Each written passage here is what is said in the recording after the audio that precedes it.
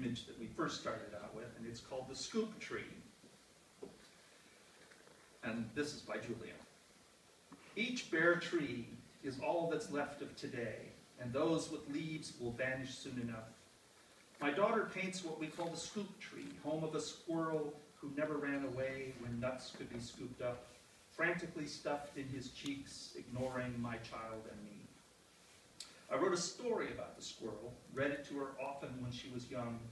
Now that she's no longer a little girl, she's painted what the tree's been all along. There is as much of life in line and ink as in the existence of tree or tail.